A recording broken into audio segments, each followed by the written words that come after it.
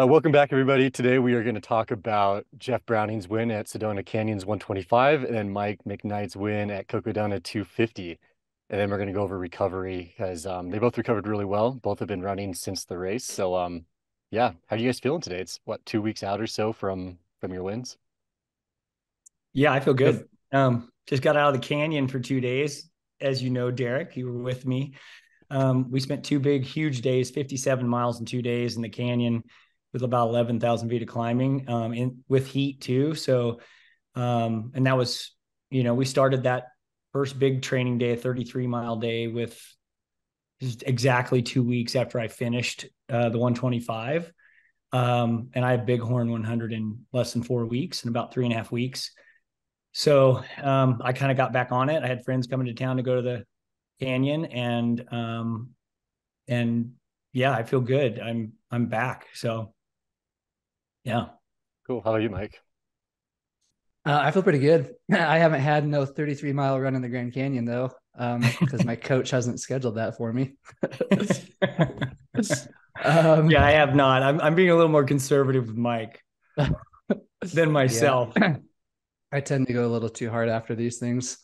Um, but I mean, I've done a lot of strength training. Uh, I like I got back on a Sunday night and I've essentially strength trained um Jeff might be learning about this right now, but I have been strength training essentially every day since I've been back. And um, I took a full week off from running, but uh, I felt really good during it. And I kind of had to like convince myself to take that full week off. And then all my runs ever since have been about an hour to an hour and 20, and they've all felt really good. So recovery is going as perfect as it could be, to be honest. I, I let me chime in here too. I, I took a week off as well um, from running. I didn't run for a week. Um, so I, same as Mike, I I didn't run. I think that's an important thing after these big races. A lot of people want to, you know, feel like they want to get back on it or they're going to lose fitness or something. But you know, in one week you're not really going to lose anything. You're going to gain a lot more by resting the legs.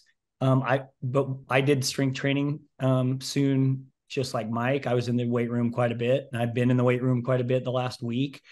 Um, not every day, but and I don't mind every day if Mike's in there every day. I, it's not a big deal. He's not doing like mega heavy um, weight or anything, but I think restoring range of motion and restoring uh, um, just movement patterns is a really important piece after these big races because you get so tight from the the repetitive movement pattern that you're in during the race. So uh, yeah, I, I kind of if if done the same thing. I just jumped back into a long run because I had friends come to town and um and I ended up, you know, I was I have to admit, two weeks after I normally would not do two big days in the canyon. But with friends coming to town, I, I definitely um was a little conservative the first day, just in my pace and running downhill. And but by the end of the run, I was like, man, I am feel great. And same thing the second day. Felt amazing the second day and we didn't hammer or anything. We did push on the climb out. Both days i pushed the climb out of the canyon just because i felt good um, but it was at the end of the workout so anyway. Yeah i guess before we jump into like recovery and like everything you guys did to recover from like those two big events maybe we should talk about like in race. I don't know maybe this is just on my mind because we were talking about this at the canyon last week jeff of like like historically I've always just blown up at events, then my recovery sucks and all these different things. And like this is why it's on on my mind right now, anyways. And maybe other people have had similar experiences. And it's kind of like a duh thing. Like if you go out super hard and blow up, obviously your recovery is gonna suck because you push your body to the absolute limit and just crumble. But like yeah. you guys both finished um your 125 and then 250 really strong. So like during race and I guess even like the morning of, like what did you do to like have a solid, consistent race nutritionally and pacing wise? And then how did that play out during the race and then then i guess affect your recovery post race well mike's is going to be different than mine because he, he had an epiphany with raw milk um, which i understand but uh, i i think um, uh, for me personally i did what i always what i normally do and one of the things i've been playing around with the last year and a half or so um, is uh, actually uh, fasting on race morning. So not just having my normal like coffee and cream and um, and you know maybe a, a glass of Relyte, but no calories, just um, just a Vespa right before the race and um, and then IV drip of calories during the race. So for me, it's just carb calories in a liquid form with my electrolytes mixed in. So I'm always drinking the exact amount of sodium per liter. I've been tested with the precision hydration test. So that test is really uh, that that test has really uh, um, um, given me some insight and my athletes insight into you know everyone's very unique in how much sodium they dump in their sweat per liter of sweat and replenishing that number at about a 90% rate you know about 90% of that number is a really kind of important strategy to really fine tune race hydration um, and and you know that more than anyone derrick because you recently had the test and you've seen the results in the canyon when it's hot. And that's where it really shows up because you have to climb out and, you know, with a big climb. And it really, everyone, if they don't have their sodium per liter di- dialed in in the canyon, everybody craters on the climb out um, at the end of a big run because you're coming out of the heat, climbing up a big giant climb, you know, 4,500 or almost 5,000 foot climb at the end of a long run. It's a really easy way to crater. And so I think getting that kind of dialed is really important piece for me personally. Um, it's a really important piece of just, you know, everything, for lack of a better term, all cylinders firing in the motor um, during that, you know, during a race. So I, that's one thing I do, and I I I don't worry about, um, you know, eating a big breakfast. I eat light the day before. Um, I don't eat a lot of I eat carbs, but I don't eat a ton of carbs. I just eat potatoes and usually one piece of fruit the day before and a lot of like lighter meat. So a lot of animal products. So eggs, fish, and chicken the day before. I eat a big steak two days out, steak and potatoes um, two days out, like a big ribeye or something. But um, I really eat light the day before the race, and then um, and then start the race on fasted, and that helps with GI um, overall. So I'm not having to try to feel figure out digest. My body's not trying to digest while I'm running because it's already worked it through. Um, so that's kind of my approach. And then I just stay on it the whole race and and don't get lazy with my my calories intake and my and my hydration. Yeah, because you had salmon the night before up in Jerome, right? Yeah, I had salmon and I had chicken for lunch. So I think skin on the bone uh, thighs for lunch. Um, it was a benefit of being so close for Sedona Canyons. You know, Jerome's only an hour and hour and a half away or so from my house, so we ate lunch at my house, and it made chicken thighs on the Traeger. Um, and uh, and had eggs that morning for breakfast, but that was kind of my my day, you know. Yeah. Did your I'm curious to know, did this strategy change for Moab, Jeff? Um, specifically the fasting the morning of the race? Um, I did eat a few eggs the morning of Moab just because you're it's a you're running slower in a in a 200 than you are in a 100, but in hundreds I'm you're usually running kind of you're running at a faster pace in a 100 miler. Um, at least I am compared to 200. So I I I did eat a little bit because I knew I was like, okay, I'm I'm stepping. It was my first 200, so I'm stepping off into you know uh 60 potentially 60 plus hours with just whatever you know with race nutrition and a little bit of food and during the race and i i didn't know what my body i guess i was i knew i would be going slower so i knew i, I wouldn't have as much issue with digesting so that's that, that was a difference. But but in all the hundreds and 50 Ks and 50 milers I've done this spring, I've been messing around with fasting the morning of the race. Um, just from a digestion perspective, right? So then you're not, I guess more than anything, we're I'm trying to avoid a you know an early bowel movement during the race. I mean, that's really what it's about. Yeah, that makes sense. I figured the strategy changed between 200s and 100s, but I just wanted to check. Yeah, that's a good good. Thanks for clarifying that because yeah. or making me clarify that. Yeah, of course. Um, yeah. Do you have any? So what about you, for... Mike? Yeah. What did you do the morning of? Um, you rushed around and forgot yeah. your electrolytes the first 33 miles and barely made the start. forgot my bladder before I, yeah, it was a mess, dude. um, that's what happens when you wake up at 3 a.m. to go to a race. uh, uh, so for me, it's very similar to you, Jeff, in terms of like what I ate the day before and a couple days before. Um, I did a steak two nights before, and then the night before was a bunch of chicken. Um, so a little bit of a leaner protein. And then something that I experimented with this race was um, kind of what we learned in a podcast that we did with Zach Bitter, or maybe it was Michelle Hearn. It was one of the two, but um, somebody told us how Zach tends to implement or introduce more processed carbohydrates into his diet a week or two before the race. And so the week before Cocodona, started having stuff like um, like a grain-free granola that you can get from natural grocers, and then uh, siete potato chips, siete tortilla chips, um, and then just like getting my gut used to those processed foods again. Um, usually, though, before a race, I'll do like a strict keto reset. That's something that Jeff taught me when I started working with him a while ago, but I don't know if I did that this time around. Um, I just kind of kept my carbohydrates between 100 and 150 grams, like consistently leading into it, mostly in the form of fruit. Um, and I I don't feel like that affected my ability to burn fat for fuel. I mean, it's such a long event, so like, you know, you're gonna dip into that pretty quickly, right?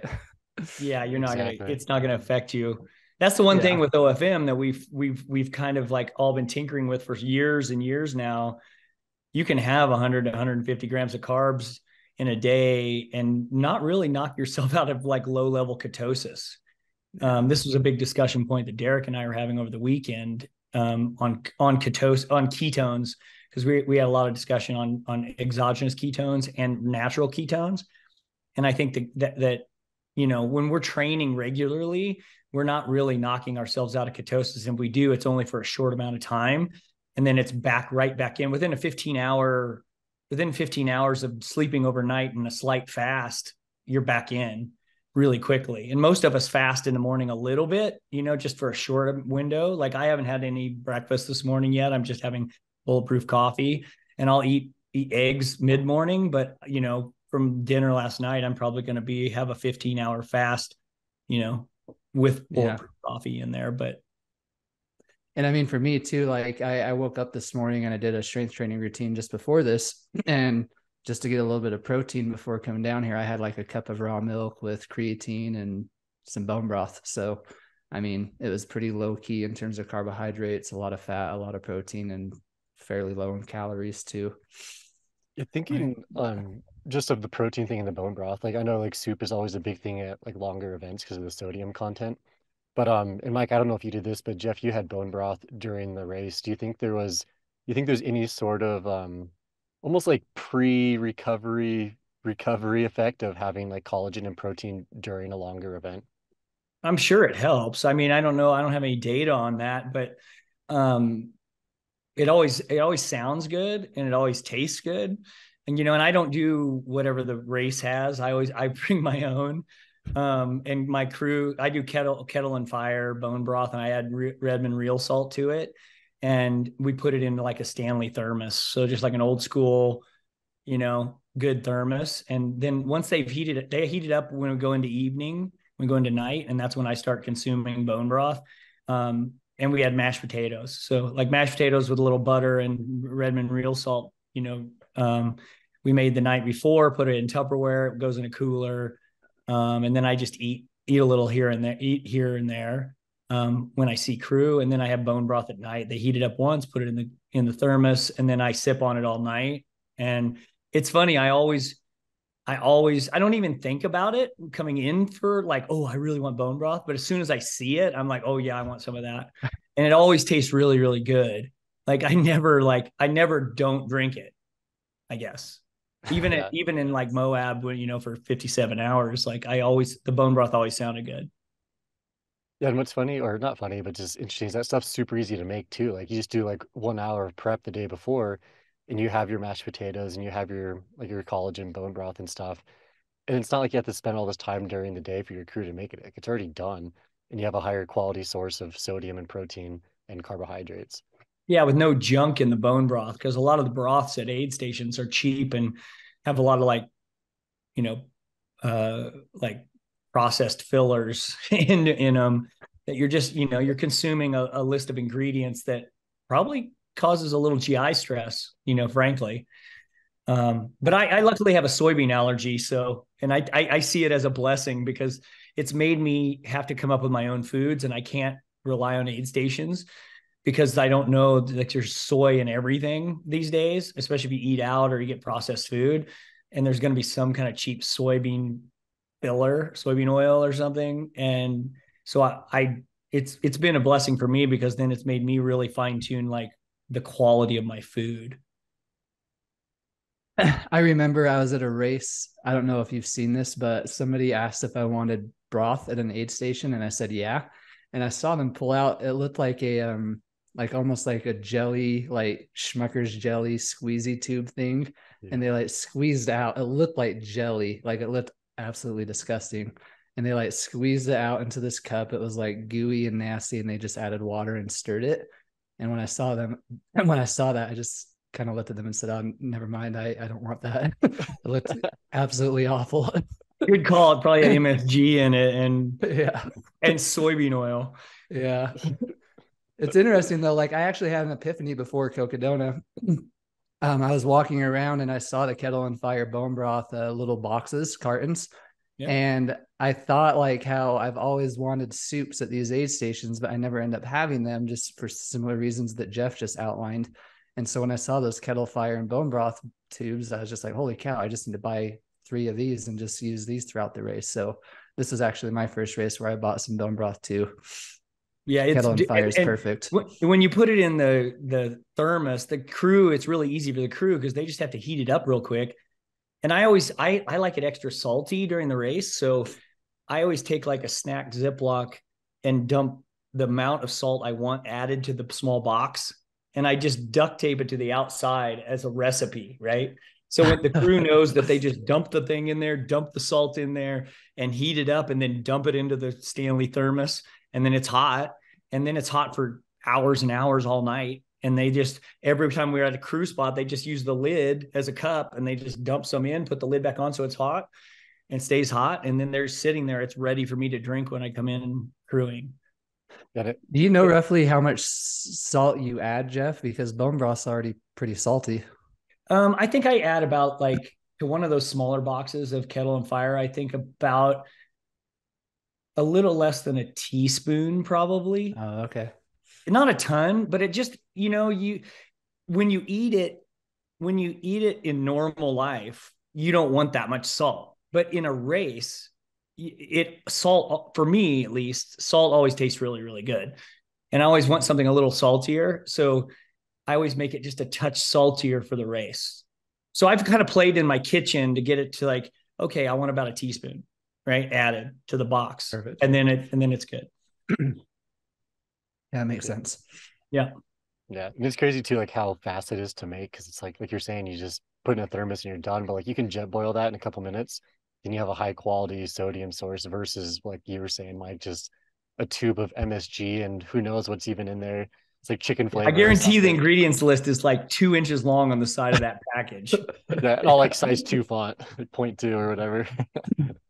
well, yeah, there's like no ingredients in the bone broth. There's like chicken bone broth, you know, water and yeah, broth like, and salt. That's it. I'm like 99% sure it was a vegan bone broth. So you know that there's a bunch of yeah, it's like 50 ingredients. Yeah. yeah. Yeah.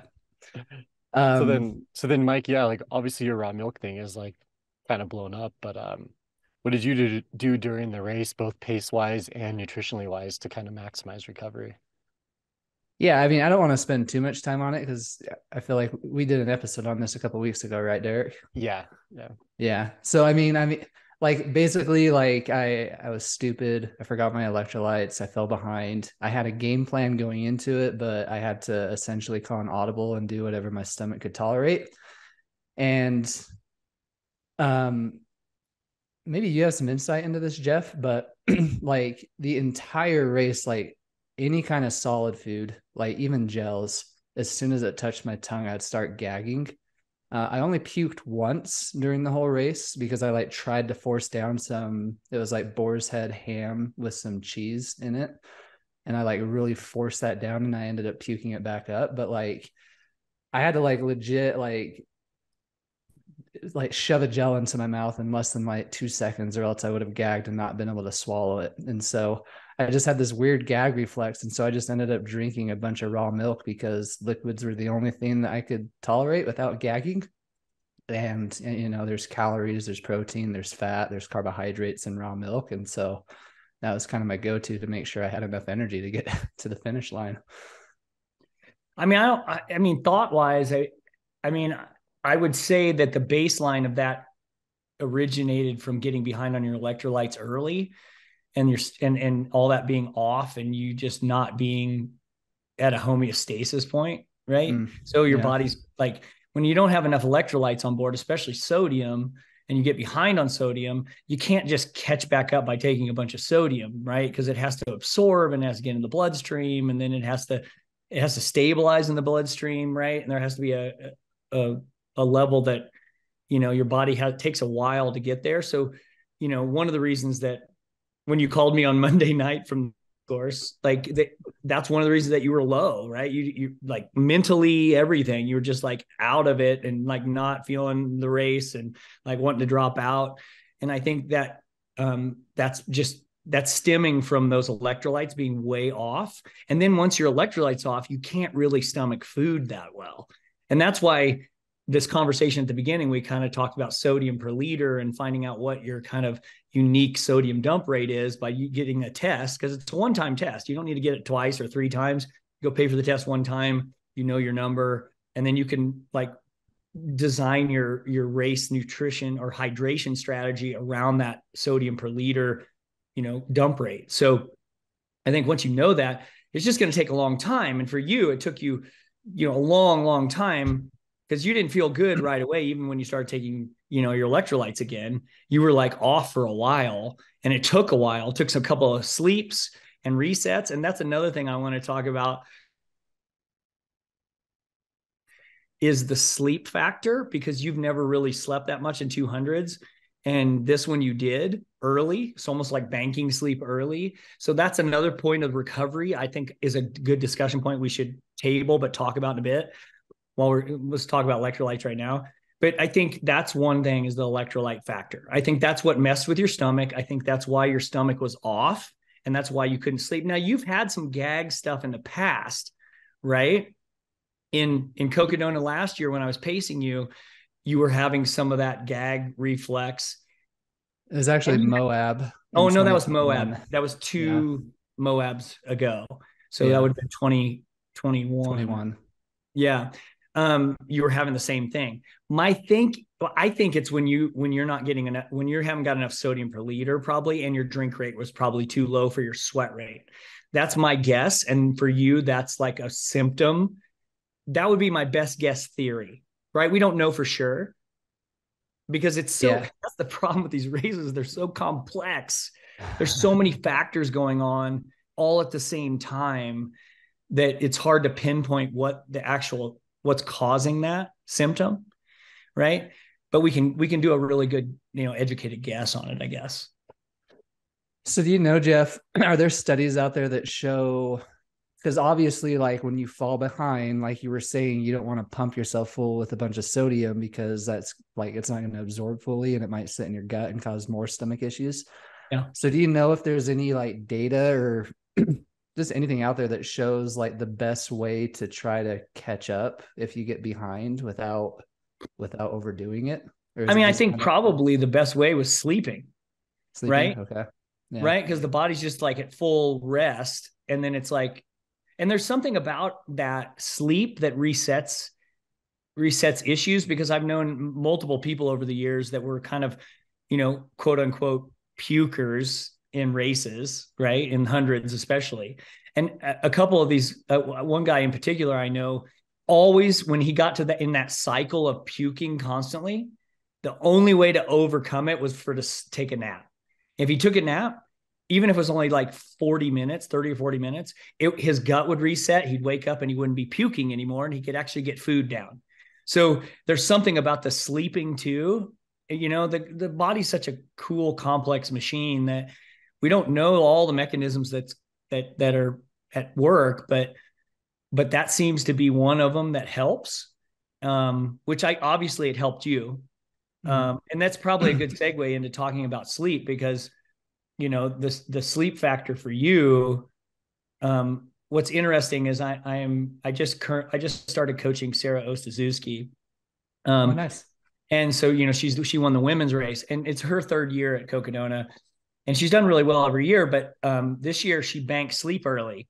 That was her strategy coming into it, and she banked sleep. So she was leading the first day in the women's race, and then she banked some sleep, and and the and the women passed her right? And she knocked her down to like third or fourth, I think, or fifth. I can't remember exactly. But then she slept again in Sedona, and and then she didn't sleep from Sedona on. But what, what what's interesting to me is that she was raging after Sedona, meaning she was flying compared to everyone else, right? And there's and so were you.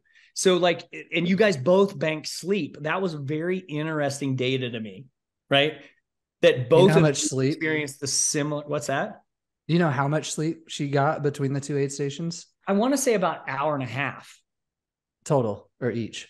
Yeah, I think no, no, no, together. I'm not positive okay. on that. I don't quote me on that. I, will I'll ask her exactly what it was. I can't remember because we've had a coffee shop, you know, hang out and discuss the race, um, and because she's local here in Flagstaff. Um, so I don't know, but I, I want to say it's an hour and a half. It might have been two hours, but um, but and you were what? You slept twice, right? Yeah, I mean, I bet you I got three to four hours of sleep that first night. Which is crazy because then it banks, and then then you when you get into the race later when it matters, you have the juice.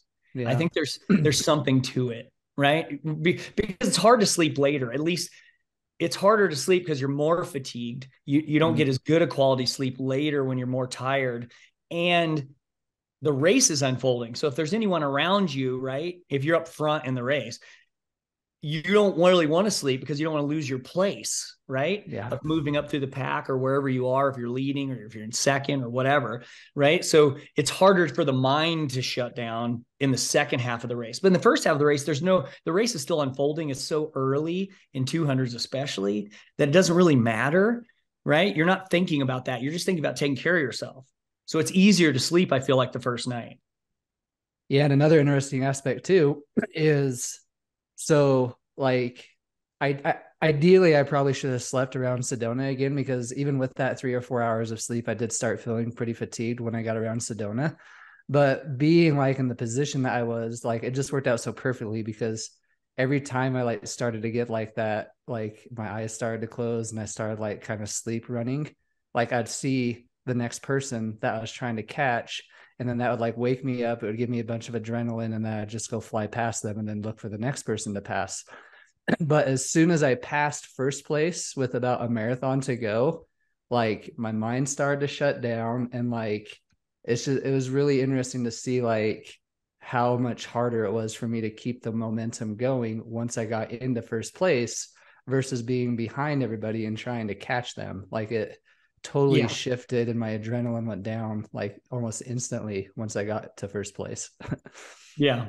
Right. So I think there is something about like like you were saying, baking that sleep early on, but then utilizing the momentum to try to like catch everybody that passed you while you were sleeping versus being in, in the lead and trying to keep that lead and kind of running scared, basically. Running scared and really, really tired yeah. right? Because that's yeah. the hardest thing. Because I I tried to do that, you know, in Moab, I tried to go, you know, 40, about 40 hours or 36 hours, 40 hours before I slept. And I I I actually had to take dirt naps in that first 40 hours because I was just so tired. Like I just and you you're so slow when you're when you're on when you're falling asleep on your feet. Like you're just yeah. worthless, kind of. Yeah. I'm guessing you didn't sleep. Oh, sorry. Go ahead. Uh, no, go ahead, Mike. What's up? Basically, I, am guessing you didn't sleep uh, for the 125. No. Yeah, I, no. I didn't sleep for the 120. you don't have to for, you know, under 24 or under 30 hours in a race. It's just when it's going to be longer than that. You have to have something. And that's one thing I learned from Moab. I feel like that I would do differently. You know, in full disclosure, I signed up for Cocodona 250 next year. So already. Um, Nice. so I just put I just was like, I'm putting my I'm putting skin in the game now. Um, so I can start thinking about it now. Um, but I think and that was the whole point of doing the 125. I wanted to scout the second half of the course. I've been I almost did the 250 this year, but I decided to wait a year and focus on hundreds this year. And and and when I heard the 125 was happening, I was like, oh, that's perfect. I'll scout, you know, and really like understand. Then I only have to scout the first half of the course before next year. Um, I don't have to worry about anything up by me. I just have to go down the desert. Um, which is ideal in the spring, right? Going chasing chasing trails in the in the in the spring when we have snow up here. So um I have a whole plan. Um so uh but anyway, I think that's one thing I learned from that experience was that I think I would I would be a better racer if I slept the first night and probably one other sleep and then I wouldn't have to sleep the last like, you know, 70 or 80 miles because because the race is unfolding. And like you said that way especially if you sleep if you have anyone that's competitive with you they're going to pass you right? And so then you are in that chase mode of like hunting them down later. But i don't want to hunt them down. I don't want to worry about that in the first half. I need to worry about it in the second half when it matters. Yeah. If anything, sorry, I keep cutting you off, Derrick. This is the last thing I'll say, and then you take over. um, if anything that this race taught me is that, like before Cocodona this year, I would have been terrified to take a nap in that first night just because I didn't want to fall two hours or so behind. But like after falling nine to 10 hours behind the first night, and then still having time to make that up later in the race, I'd say the biggest thing I've learned from this is like if you do take a two hour nap that first night, like in a 200 plus mile race, two hours really is not that much time that you need to make up like for the rest of that race. Like honestly, it's not. which is it, which is interesting mike because a lot of the discussions in on podcasts and because 200s are so new right there's been so many like the the the most recent like uh i guess best practice for the front of the pack has been to run 40 hours before your first sleep right Mhm. you know just under 48 hours so somewhere in that 36 to 40 hour range of like before you sleep Mhm. i'm thinking that's wrong like based Yeah. on like as this um, data or as as racers or, or people who are running multiple 200s now and doing them every year and starting to get more experience in them like you do and sarah has and like they're naturally finding that wow you know and it's inadvertent a little bit right? Yours is inadvertent right? We didn't even know like that was that was like you would run way better if you slept the first night but you just Yeah. were kind of forced this year. But she did it as a plan and she ran really strong right? So i i just i feel like that that knowledge we have that everyone's been passing around as best practice is probably wrong and that best practice is evolving. Um fords probably should sleep the first night bank some sleep you know you know so you need to sleep more in the first 150 miles or 160 miles and then and then the race unfolds and then like you said you know catching people is going to keep you awake if you get in quote race mode Yeah, for sure. Yeah, so I'm thinking of of sleep. Obviously, like you guys, we just discussed it sleeping during the race. But Mike, you finished at what, like 3 a.m. or something? So Yeah. yeah, something super early. And then Jeff, what time you finish around? i was like Was it 8 30 in the morning Yeah, something like that. And so at that point, I point, hope you appreciate. oh, go ahead. I hope you appreciate that I got up to come see you finish, Jeff. i know that's pretty awesome dude thank you yeah. So let's talk about like immediately after the race because you finished like downtown flag, and so it's three in the morning for you, Mike. So like, what did you do for your like, I don't know, the first hour or so after finishing? And then Jeff, you want to talk about what you did the first hour or two after as well? Yeah, I mean, mine's pretty easy. Like I went home. Um, we got an Airbnb that I Ben said is actually really close to Jeff's house in Flagstaff. Um, but I went there, I got back, I took a shower, I got grossed out at how many blisters I had on my feet.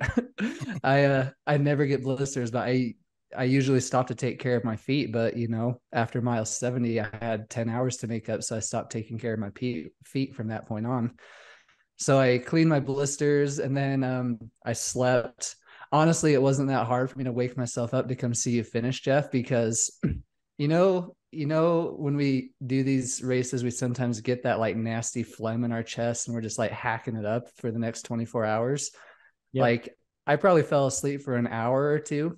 And then I woke up like trying not to die because I was choking on my phlegm that was stuck in my throat. So I like yeah. woke up in a panic. I was like trying to breathe and coughed up all this nasty crap. And, and, um, I mean, that's the first hour or two after my race, taking care of myself and sleeping for an hour or two before waking up and trying not to die. what did yeah, you eat, or, eat or drink post? Did you do more raw milk and protein recovery or anything, or did you just not want to eat? Um, honestly, I don't think I ate until around noon that day. Um, I don't know if this if it's the same for both of you, um, specifically you, Jeff, like after Moab, but like after these 200s, it takes a good 24 to 36 hours before like my appetite really comes back. And so the first 24 hours after finishing, I didn't honestly eat that much. I I actually I usually do some kind of protein recovery drink. Mm-hmm. And then like just right after. Like so I have it in my kit, my mm-hmm. my change of clothes kit at the finish line. So when you're getting out of your sweaty clothes and like changing into warmer clothes because you always get cold. Um, I I pretty much do uh, that first. So that just what that does for me personally, I find when I do that, one, I'm getting electrolytes back in, but I'm also getting like a little bit of easy to digest protein and carbs. So that settles my stomach for me personally. So I find that if I do that, drink some water um, or electrolytes, some kind of like light electrolytes, um, and drink some water and that, usually within about 40 minutes after the finish, 40 to 60 minutes after the finish, I'm I'm I can eat. So like I ate um I ate scrambled eggs and bacon like within inside of an hour of finishing. Um, and then I went home and did this. I think I ate more eggs as soon as I got home. I showered. I ate eggs. I can't remember. I think that's all I ate was just eggs. And then I slept a little bit. And you know, always sleep. I always I had the same thing, hacking, because you're it's it's Flagstaff. We're at altitude. So we're pushing at altitude, right? We have to go over 9,200 feet um, at the very end of the race when you're really fatigued and you just get a little bit of that like gunk, like pulmonary. I, think it's a little bit of pulmonary edema, right? Is is what you're getting that gunk in your lungs. Um, I do find that there's a kind of a cure for that. So I'll give everyone a tip out there that's listening. Um, um, Rocky Mountain oils and sodas like doTERRA and a whole bunch of other ones. They all have a breathe ease type um, essential oil if you rub that all over like your like I put it in my beard on my chest and I find that if I use that stuff it clears that gunk up quicker. Um like usually by evening by that night like I take it took a nap during the day a little bit and then by that night I I wasn't hacking anymore. Um so it clears it up really quickly. So I carry it with me when I go to Hardrock every year um because you get it bad at Hardrock at the end because pushing that high altitude. So that that really helps. But that's it. That's pretty much all I did. And then I just stuck to. I think I drank a bunch of raw milk when I got home, um, as well. You know, I, that's like the perfect recovery drink. Um, so I chugged a bunch of raw milk.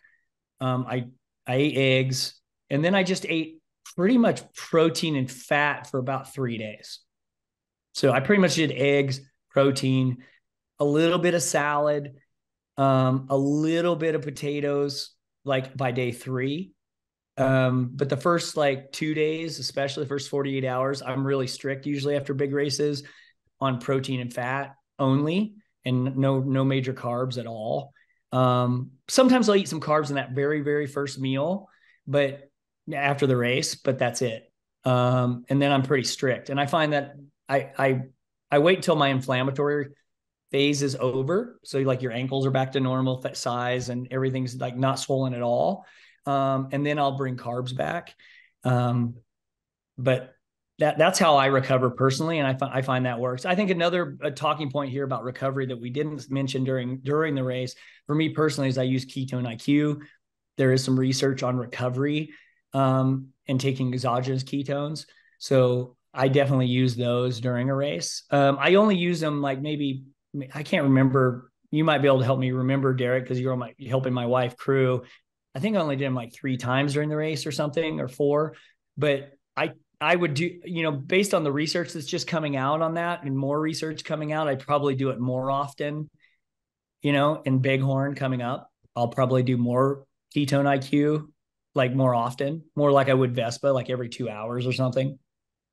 Yeah, I think that's what Michael said too. Like Michael Brandt from um, Ketone IQ, I guess HVMN. I can never say the name, but I think he said when we did an interview with him to take it like every say you take three gels whenever, take one ketone IQ shot with that third gel, for example.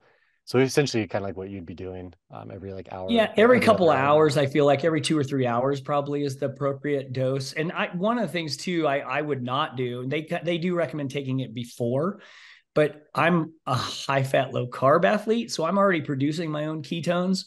So I wouldn't want to override my natural ketone production at the beginning of the race. So going into the race, I'm worried about my natural fat kicking on. And and because it I, I've been tested and I know it's really high. So I'm using my natural ketones in the first, say, two or three hours of the race. And then as you're burning through and fat burning later in the race, I would start with the ketone IQ drip. Yeah, no, that makes a lot of sense. And um, know, there there are just a ton of data. Well, not a ton, but there are some data, I should say, saying that like it just helps massively with recovery and then also with brain fatigue as well. So like if you're taking that mid race, you can potentially save like mental energy, which could be then translated to physical energy. So you can just have a better overall race. Well, especially if it's a technical race. If you have technical foot footing like you do at Cocodona, right? You on that course, like there's a lot of rocky stuff and being able to stay focused you know if you're burning ketones you're going to be more focused and that's one of the things that the studies have shown is like when you're burning ketones as a brain fuel you're way more alert and you're and you ha- and your motor skills are better um surprise what's really surprising in a in a 100k race one of the studies showed that on ketones versus placebo that the racers had this they did an i they did like a, a mental acuity test at the beginning before the race and after the after the race or at the end of the race. The people who are using ketones were had the exact same results as they did before the race whereas there was a big cognitive decline in the placebo group. That's really interesting to me as a high fat low carb ofm athlete where we're using strategic carbohydrates around effort and volume, but we're still letting our body be in this low level of ketosis, natural ketosis. That's telling me that ketones, our body prefers to burn ketones. And I think that's one of the reasons that we're seeing recovery, such amazing recovery. And I think that's one of the reasons that we're seeing such, uh, you know, across the board when we coach OFM, and I've been coaching it now for like almost a decade and doing it myself almost a decade. And and and Mike's been doing it a long time too. And we've been fine tuning and fine tuning and, and messing around and fine tuning. And what we're seeing is an ama- amazing recovery. That's probably the number one feedback I get from athletes. Like, is the recovery is off the hook. And and now that all this key exogenous ketone studies are coming out, it makes sense now. We're starting to see like, well, ketones are what our body likes to burn. You know, we shouldn't be in ketosis all the time, 24 7, right? But being in a low level of ketosis all the time, you're burning ketones. And then every once in a while, you're knocking yourself out a little bit, which is a signal to the body that, hey, we're not in a starvation mode, right? Necessarily. We're in a low level of ketosis, which is a really good fueling source for the brain and and for recovery for inflammatory and then all of a sudden we're we're we're hovering in and out of ketosis with a little higher carbs like we're using them strategically because the studies have shown against keto diets and and endurance sports that it does mess with bone health if you're really strict keto in big efforts right? Long races um, uh, we even saw this in in Mike's blood work when he did the no calorie 24 hour right? That that it does mess with your bone density a bit. And so having those carbohydrates after big efforts to signal to the body that everything's okay and to like not mess with your bone density, but then also, you know, using diet to get into low level ketosis from time to time during the week is really, really good for the overall inflammatory response and recovery and mental acuity and capillaries. Like that was another thing that came out of the research that it helps with capillary um, uh, I'm trying to think the exact term. I actually wrote it down in a note in my phone. Hold on, I'll tell you what what I wrote. But um, yeah, I'll let you guys talk now because I've just been rambling.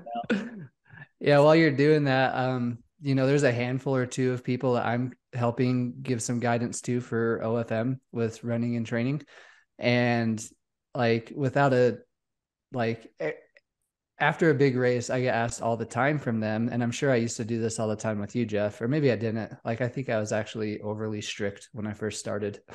Um, we all are. That's, that's normal. We get a little carb phobic at the beginning, yeah.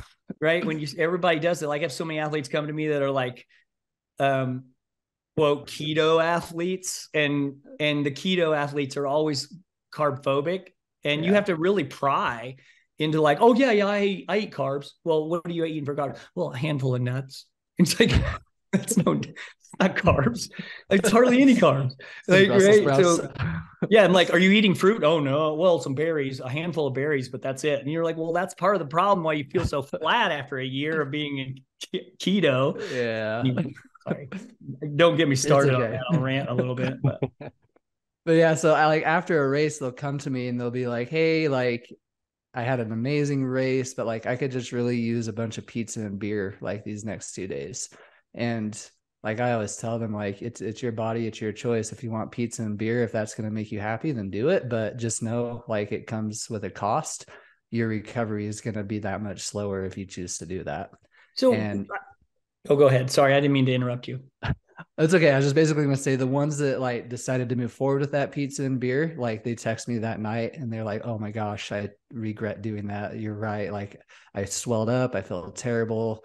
And then the people that choose not to do it, like their recovery goes by that much quicker. So, well, and that's always been a, a coaching point for me is is that I anybody who's messing around with OFM, I say you're gonna want to the time you mentally want to cheat is right after a race and big efforts, right?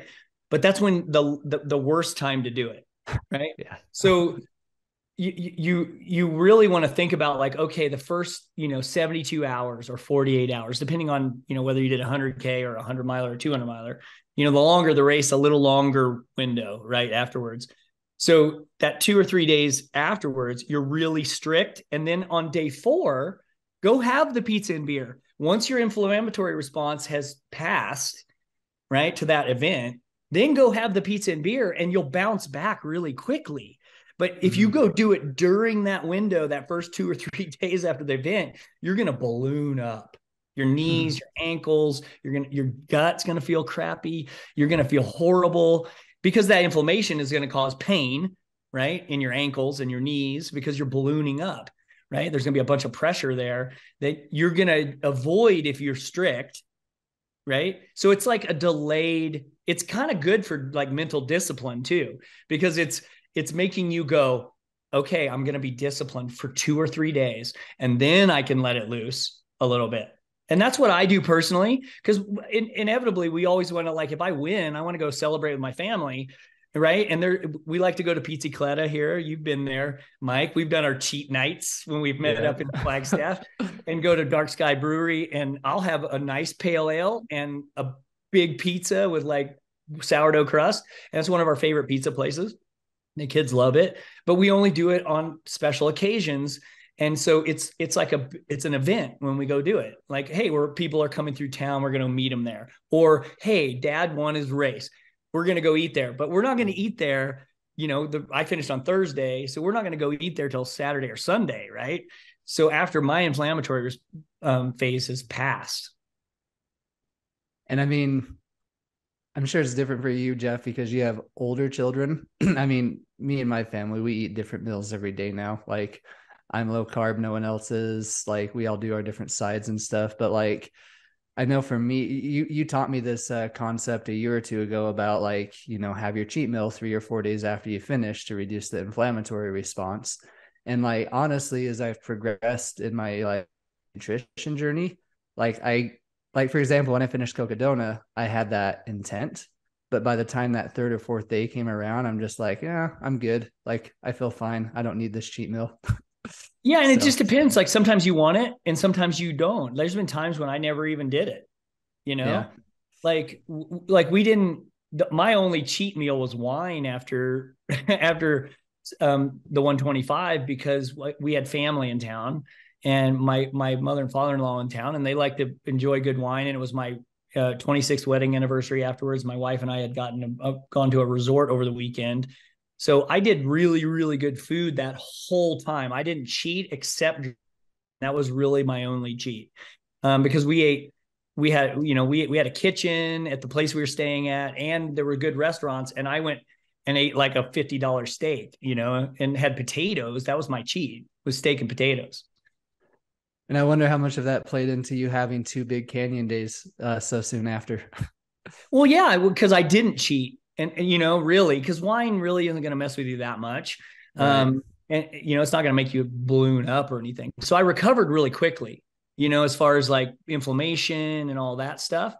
Um, and I took a couple extra days that I normally wouldn't have because normally I, I, I normally take a week off after 100, but mo, mo, mo, or after a 200, I take seven days off.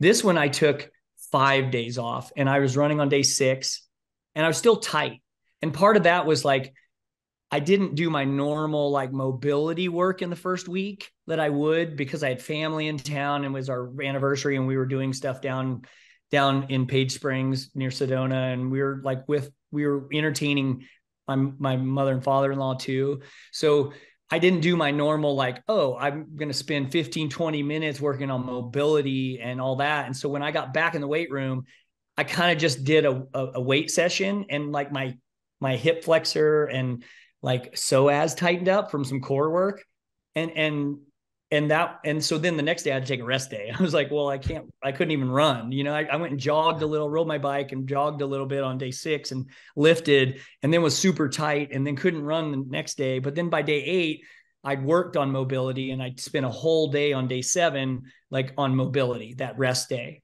Like I, I worked on foam rolling the heck out of, of my psoas and hip flexor and legs. And then by the time I woke up on day eight, I'm like, oh, I think I can run today. And I went and ran really easy and short. Um, you know, I think I only ran like 45 minutes and I did a light, and then I, I did a really, really light strength training session and, and spent a little time in the, in maybe like five minutes in the sauna at the end with some stretching. And then by day nine, I'm feeling good. And then I ran every day until we ran in the canyon. So I did like I think eight days in a row or something um, after that, and felt good. And I just ran easy every day. I didn't run I didn't run hard at all. I just ran easy for that week get to get ready to run in the canyon. Um, but that kind of sl- just like got me back into it, and now I feel great. Like I have nothing's tight. Um, yeah, I didn't have to get body work this time. I just did my own. Nice. Yeah, so Mike, what kind of um, mobility stuff did you do post race? Did you get, do a massage or anything like that, or did you go straight to the gym? so, so uh, I got an Airbnb. We stayed till the finish, um, which was Saturday morning, um, and then we made the drive back to to uh, northern Utah. The, I will throw that in there. Um, I know everybody doesn't have this convenience, but I have some of those uh, rapid reboot compression boots and we have a big uh, 1500 Dodge Ram pickup. And um, like, so I finished Thursday morning, like at 2 a.m. My wife, Sarah, like essentially just did a bunch of sleeping after that because she knew that she was going to be the one that had to drive home. uh, but I ended up sitting, like, it's a from Flag, I think it's like an 11 or 12 hour drive to get back home. And like for the majority of that ride, I just sat in the back of the truck and I put my legs up on the seat and I just did those compression boots that whole drive home. And like I had little to no swelling, which is not common for me. Like I, I do clean up my diet after these races, but I do have some kind of swelling after 200 just because of like how much I'm beating my legs up. Uh, Jeff agrees. It looks like. yeah, I'm nodding. Yeah, that's like it, we totally like even after hundreds, I have swelling. You know, you're going to have swelling. It's just I used to have it a lot worse before I right. shifted to this diet. Like I had I had uh 2200s under my belt before and 15 years of racing before I switched to this diet. So I had a really good I had a really good data set of my own n equals one of like what my reaction was to 100 milers on a high carb diet. Um, and it's it's like night and day compared to what I used yeah. to be like. No calf definition or anything, right? Like oh yeah, cankles. you know, you can't even see your ankle bones. I couldn't see the bones in my feet. I mean, just yeah. gigantic feet. Um, yeah. It, I mean, to the point where, and really swollen face, like, like it, it was like systemic. Um, mm-hmm. my, my wife used to, and brain fog really bad for a week after hundreds. You know, I just chalked it up to being, that's what hundreds did to you. And, you know, my wife always looked at me like, oh my gosh, you do not look good, you know? That was good to have our wives keep us honest. yeah, exactly but yeah, I did those compression boots on the whole drive home. Uh, so we got back late on Saturday night. And like that next day on Sunday, I did like a light strength training session for like 25 minutes, like some air squats, banded lateral walks, push ups, and stuff like that. Then the day after that on Monday, and then every day that week when I wasn't running, like I was at the gym doing battle ropes, light dumbbell routines, um, single leg squats with like you know, five pounds on the barbell, so very lightweight. so I did a bunch of strength training, um, a bunch of stretching. Um, the interesting thing with this race is I lost a little bit over 10 pounds, um, which I mean, I would say I lose five to 10 pounds at 200s. It's not uncommon, but usually I gain it back within a day or two. But this one stayed off for over a week, almost two weeks. Um, but like the consistent strength training, like the muscle came back and, you know, I'm back up to my normal weight now. And like, I honestly feel I've been experimenting a lot with strength training this past year, not year, sorry, but like during like this year, 2023. So the past few months. And like, I, like, I, I honestly feel like, you know, strength training is one of the most important aspects especially for a 200 like later on in the race when your glutes start shutting down and your hips get weak like if you can have that strength going into it like you're going to have that much more efficiency with your your running form and your stride and everything towards the back end of a 200 it's a yeah, little side tangent I, I 100% agree with that i mean that's been something i've been preaching for a long time but um i've actually now that I live at all, almost 7,000 feet, my house is like 6,800 feet. Um, one of the things you have trouble doing at altitude is building muscle. And I'm, and, and I'm early 50s. So you lose muscle mass as you age. And so one of the things I've noticed since I moved here two couple years ago is that it's harder for me to build muscle than it used to be. I think it's a combination of getting older and living at altitude, higher altitude now. So um, I've really upped my strength training game um, I joined a local gym. I've always had my own home gym in the garage, but I, I, joined a local gym, so I even have more equipment access. It's really close to my house. It's like five minutes from my house, so it's really convenient too. So it's easy for me to pop in there. It's out by some trails on the east side, um, out there, you know, kind of in that section on the way to Walnut Canyon. Um, you kind of run through there after you leave Walnut Canyon. You kind of what weave through on the way to I go under I forty, that trail Campbell Mesa is like really good recovery trails because it's really really flat. It's just slightly rolling. There's a little bit of you know, but like a a six or seven mile run, like have maybe 200 feet of climbing, right? So it's a really flat, easy place to go shake out. And so like it's great because it's I drive by the gym on the way to the trailhead, and the trailhead's literally like three minute drive from the gym, and the gym's five minute drive from my house. So like I go by it, go run, go hit the gym, shower, and then I'm back working. And it's a great way, especially in recovery mode.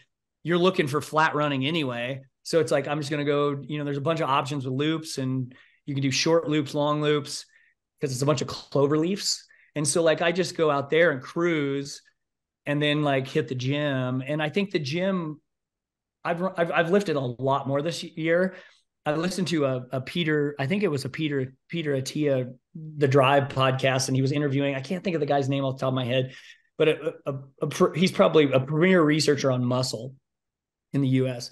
And um, like you know, his whole career has been on muscle research, and he was talking about um, how the the background of strength training in the US came from bodybuilding, right? So we've always had this thing that has been beaten, at least it was beat into my head that you don't do the same muscle group 2 days in a row. Well, that is true in bodybuilding because you're pumping that muscle group out to its max in a bodybuilding setting, right? So you're like, okay, I'm going to pump my biceps, you know, like for example, to the max on day on Tuesdays well, then you're not going to lift that muscle group again for days, right? But in if we're doing lighter strength, like we do a lot, like I always kind of say, hey, you should do your heaviest session, more more powerlifting sets, you know, where you're descending reps, increasing weight over three sets, three or four sets, early in the week, farthest away from your long run, right? And then as you approach that long run, the other sessions can be more like tough 21, like that we we we kind of have people do or that kind of dumbbell full body dumbbell with core work that's working on range of motion but still under a small load because you're still getting strength from a load right so yeah. i think that looking at it that way and that one was like almost this epiphany for me was like whoa we could do like tough 21 almost every day because we're not doing heavy unless you're doing a heavy session then you need to make sure you do a really, really light session the day after. But after that, you could pretty much lift every day. So I've been playing around with actually doing tough 21 type workouts like daily in some, if I have the t- bandwidth, I'm not in a big volume block, but if I'm in, in lower volume blocks, recovery, taper, stuff like that, I'm doing, I'm going to the gym almost every day. And you've been doing the similar thing, right? Yeah. Mike this year. We've been talking about this back and forth a lot. And I think if we're if we're designing that program like I'm talking about, you can handle going to the gym every day. It's just a matter of like some people don't have the bandwidth in their schedule to go to the gym every single day. You know, I I luckily have a very convenient location for mine and it's close to me. Um, and I write my own schedule. So I, I have a little bit of a liberal schedule at lunch. Um, so that helps, but for what it's worth. Yeah, I imagine just real quick before you jump in, Mike, that like even if people can't necessarily go to the gym every day, they could do like a like your what is it, the tough 21 session or um like an ATG session at home with like very minimal equipment and not have to drive anywhere. So like go do your run and then take the 15 to 20 minutes and do that real quick and not have to go on full on like I'm gonna drive 30 minutes to the gym, change, blah blah blah, and do all that stuff and take two hours. You can just do it very quickly on the tail end or maybe even the front end of a run. Well, and that's what I've done for years, like that, because I didn't have the access to a gym. So I had my own home gym with dumbbells, um, just a very limited. Now I have like adjustable dumbbells, but I, for years I only had like three weights. You know, I you know I had like tens, twenties, and twenty fives or something. And I did. T- that's where Tough Twenty One kind of came from. Was like the convenience factor because at the time I was running a graphic design business that was really deadline driven and busy, and I was trying to fit training in and kids and being a dad. So like all of that stuff was I was I needed something that's where 21 minutes came from. Tough 21 was 21 minutes of like timed workout, like where you're getting full body and you could do that like two or three days a week. And I think that's a really good point that you can do it. You can just do, knock it out at home. I think another ben, auxiliary benefit that I would like to mention, and I'm sure that Mike has experienced this as well. If, if you ever do it right after a run, it's counterintuitive because you're always kind of tight after a run and you when you get to the truck or whatever and you're like leaving the trailhead or whatever but you always like are like oh man I do I really want to go to the gym? Do I really want to do tough 21 because this is I get this all the time with athletes like oh I don't want to do it right after a workout. The thing you'll find is you've actually like get to it and do it right? Because you're not doing heavy weight it actually restores your range of motion. So it actually kind of doubles as a mobility routine. And when you get done, like when I walk out of the gym after a tough 21 workout after a run, I'm like, oh, I feel great. Like I, everything is my full range of motion is back. I feel completely like restored instead of like worked. because sometimes you get done with a run, you're like kind of worked, you know, even if you're, cause especially if you're in recovery mode after a race, you're like, ooh, you know, a, a, a five or six mile jog on flat rolly trails is kind of a slog with, I like sometimes have to take hike breaks. I'm like, oh, but then I go do gym work and I feel great. I just do lightweight, you know, for that session when you're in the recovery mode. You don't want to be doing lifting heavyweight right after a big event because you already have muscle damage. You don't need to do more. You're just trying to like restore blood flow and range of motion and all those little things. But it it signals there's you know, one of the things that strength training in that podcast, there's hormonal signaling that happens when you strength train. And I think that's some of the research has shown that the, that doing a strength training session after big endurance events actually helps you recover. So this is going to go a little bit against what you were just saying, Jeff. um, but something that I've personally been tinkering with after Cocodona that it could be placebo. Um, I don't, I haven't done any studying to see if there's any data that backs this up. Like obviously, like morning sunlight there is data that shows that that does help with like lowering cortisol and helping you sleep better and stuff. But like something that i've been doing lately is i've been doing my own variation of tough 21 first thing when i wake up like between 6 30 and 7 i go outside on my back patio and i do tough 21 um, a variation of it outside with the morning sun coming up. And i'm just like that's an amazing idea. That's really it smart. feels so good what a way like, to wake up yeah. Yeah. You're getting morning sunlight, you're outside, and then you're doing a workout for I mean, we we we keep saying tough 21. It's my own variation because I do it for about 45 minutes. Um, I essentially double it. But like I've been like implementing instead of squat jumps, I've been doing jump rope. Um, instead of planks, doing the ab wheel, and then just like you know my own variation of it. But I really do feel like being outside first thing in the morning, taking my glasses off because my my glasses transition to sunglasses and just like being out there, letting the sunlight get in my eyes and then doing that kind of workout, I would like to think has been helping my recovery too. I'm sure there is because there is a lot of st- there is a lot of information that's been pushed out there on like getting early sunlight without glasses on, mm-hmm. right? Because our eye because our glasses actually block that the UV rays that are beneficial and, and that helps with vitamin D absorption by the way if you take your glasses off because if you're wearing sunglasses, you're not really going to get vitamin D absorption very well from mm-hmm. the sun. Um, I even do that sometimes on runs and lunch. If I'm running like during the summer with shirtless, you know, lunch run, I will pop my glasses up on top of my head for at least 20 minutes of the run because I can see okay without my glasses because they're prescription like yours, Mike. And mm-hmm. um, but I but it takes a you know a couple minutes for them really to adjust so I can see trail very well. Um, but I'll do that sometimes just for that benefit. Yeah, I can't see junk without my glasses, so I don't have that as an option. so you have to do strength training on the patio where it's nice yeah. and concrete, so you don't trip and fall. Yeah. Oh, man. Well, um, as we're gonna getting close to wrap up here, what did you guys do like um supplement wise post race? Did you is there anything specific you did that was abnormal? Like I know Mike, you you're always posting about creatine that you're taking, but is that just you just follow kind of your normal protocol as far as supplementation? Yeah, I'd say the main supplements I'm taking are creatine, omegas, um, a little bit of vitamin D aside from what I'm getting from the sun, um, and then zinc are the main one. And then aside like electrolytes and stuff like that, apple cider vinegar. I've been doing a lot more of that in the morning, but those are the main ones for me. Yeah, mine are mainly um, um, I do vitamin D, um, liver pills, um, so like K2, getting my K2 from that. Um, and then uh, I do a bone up supplement um, from ancestral supplements. Um, and then uh, what else? I do um, NAC supplement and zinc and um, electrolytes, Relyte, um, regularly. I mean, that's a regular thing for me. That's a daily thing. So that doesn't really change. And I don't supplement every day. I just supplement, you know, a couple days a week. Um, cause I do a mega dose vitamin D protocol. So I only do vitamin D every two weeks in the summer when I'm getting out in the sun at lunch. Cause I run at lunch a lot. So I only do uh, every two weeks, but I do it every week during from like Labor Day to Memorial Day in, in the winter, fall and winter and spring. Um, I typically do vi- that mega dose vitamin D every once a week.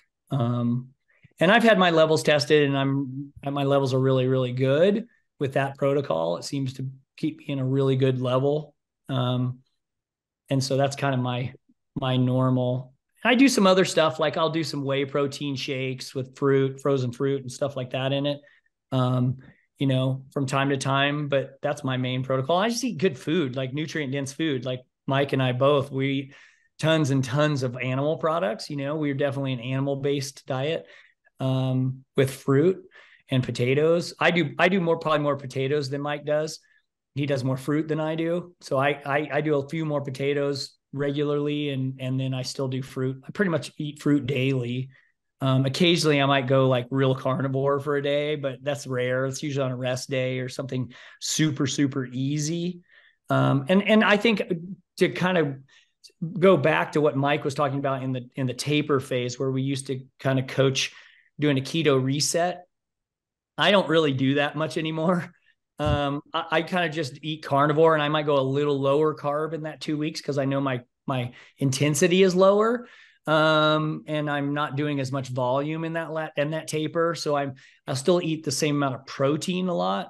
Um, my protein intake doesn't really change, but my my carb intake might lull a little bit compared to what I would be in a bigger volume block. But I'm still eating fruit daily um, on those in that in that um, phase. So, so you guys both mentioned zinc. Why are you both taking zinc? I'm curious about that. Well, it does help with like fight off um, viral loads if you come across them. So that's one of the benefits. I have a list. Yeah, I mean, I'd have to look it up for you exactly what those are. Yeah, and I mean, after a big effort like that, your immune system is going to be knocked down a little bit too. yeah, big time. Yeah, yeah. I'll, I'll, take actually if if if anybody's fighting, I kind of have a, a antiviral over the counter protocol with supplements. It's a long list. I can't. I I could I could probably rattle it off, but actually I probably have a list somewhere on my phone of all the supplements. It's a long list, but I'll do that as an antiviral protocol whenever someone I know I've come across someone who's sick and, and been in contact with them or if someone in my household like my a kid is sick or fighting something mm-hmm. and i'm getting close to a race especially um, i'm going to be on that protocol because it's just a natural over the counter protocol to help boost your immune system you know it's like quercetin zinc like like quercetin drives zinc into the cell um, there's like a synergistic relationship there's nac i take an nad supplement um, uh, liver do you do Xlear nasal spray? Yep, that's another one. Yep. You know, so it's yeah. it's it's like X starts with an X. That yeah. one. Yeah. So I'll do. Yeah, I'll do that. I have that. You know, I'll I'll be doing the nasal spray so you don't get viral replication in the nasal passage and throat, um, or knock it down. Um, that kind of stuff. So I'll do those kind of protocols if I know I've come in contact with some. Sometimes I'll do it as a prophylaxis too if you've done a big block and you're coming towards an A race and you're in the taper, you know, you don't know when you're going to the grocery store if you're coming across someone who's sick and just walk through the cough, you know, or something. And um, so I like I will I will be a little more proactive as a prophylaxis in in the last two weeks using that protocol, um, just to as an insurance policy, I guess. And it's also helping boost your immune system right before the race because you're going to knock it down in these long races, especially 100 plus. Yeah, there's no worse feeling than showing up to a race ready to crush it, but you caught some kind of sickness. right before you did all this work and t- yeah. peak tapered, done all your strength training, mobility, and then you show yeah. up. oh my gosh, I don't feel good. Yeah. It seems like a Horrible. cheap insurance policy, basically. If you're going to put in months and months and months of work and time and money why not just spend the extra few dollars to make sure you're not sick showing up to the start line? Yeah, even if it only gives you a two or three percent bump in your immune system, but anything that might just like ward it off a little is worth it. It's not going to hurt you. Right. And you can afford 10 bucks to get those things, 20 yeah. bucks maybe. Well, with that many supplements, if you're buying them outright, it's going to be a couple hundred bucks probably worth of supplements. I mean, it's a long list, but but once you have them, it's it's there. You know, you're gonna you're gonna right. be able to take them for a long, long time because you're not taking them every day. So it lasts a long, long time once you once you've purchased all of them. It's just the initial purchase might be a little expensive, but Did, did you guys um increase any organ meats at all post? Like I know we only have a few minutes because you guys got to go, but um, did you like uptake anything or did you up your intake of organ meats at all or supplements? I mean, I- me personally, I probably do liver. I either do like two ounces of liver a day, like in my normal day to day, or I'll do like three to four ounces every other day. Um, but I would say like for a week and a half, it's really interesting actually. So after the Arizona trail, um, you know, that pizza place that Jeff referred to earlier, I stopped there and had uh, lunch with Jeff and Jen, and they, um, I, I was having issues with my vision and uh, before that, I never touched liver because I just it disgusted me. And, and Jen kept telling me just to go home and eat some liver that that would help with my vision issues. And like, I want to say either the first time or the the second time at the most, like after eating liver, like my eyesight restored itself. And I noticed that after Cocodona, I had issues with my vision too. And so yeah so like i upped my liver intake to about three to four ounces a day for a full week week and a half. My vision like restored itself again. And so yeah i did up my liver intake a little bit for specifically for my vision after cocodona I took a lot of liver liver supplements afterwards, but I didn't I didn't eat a lot of liver. Um, like I need to because I have a half a cow in my freezer. So like I, I have a bunch, I have big chunks of liver. I need to like thaw it out because most of the time I let my wife cook it. But I need to do what Mike does personally. I think that's a really good way to do it is just have some thawed out already and you can kind of just slice off of like two ounces and just have it as almost think of it as like a supplement because it really is a superfood. Um, compared to anything else, it's so nutrient dense and it gets you so many trace other vitamins and minerals. Like it, it blows pretty much anything else out of the water as far as from a nutrient density perspective. So learning how to make it, and Mike's done a really good job with doing it in his air fryer. He shared a couple of recipes with me because um, my wife does it as a pate. So it so there's a lot of prep, but once you have it, it's done. It's a big batch, and we will eat it over three or four days or a week, you know, and keep putting it in the refrigerator and use it with like you know grain free crackers or something or something like that. But um, I think eat figuring out how to eat it appropriately, like like where it's actually whole, is probably even better because it's more convenient and it's easier to do, especially with an air fryer. So I I think I need to this week. I'm gonna I'm gonna go find some in my freezer right after this call's over and get it thawed out, and I'm gonna start eating like two ounces a day. I mean, if you source it right and you just add salt and butter to it, like I don't think the taste like my first time. And you don't have to eat a ton, right? You don't have to. It's a No. small, small portion. It's like Yeah. think of it like a supplement, right? Two ounces. Yeah. And I mean, like my first time trying it, I bought it from Walmart. Like it was nasty. I, I had to add salt, butter. I added steak sauce. I added cheese. Like it was terrible. But then my second time, I bought the um, it's like the Thousand Hills brand from like Natural Grocers and Whole which Foods. is good.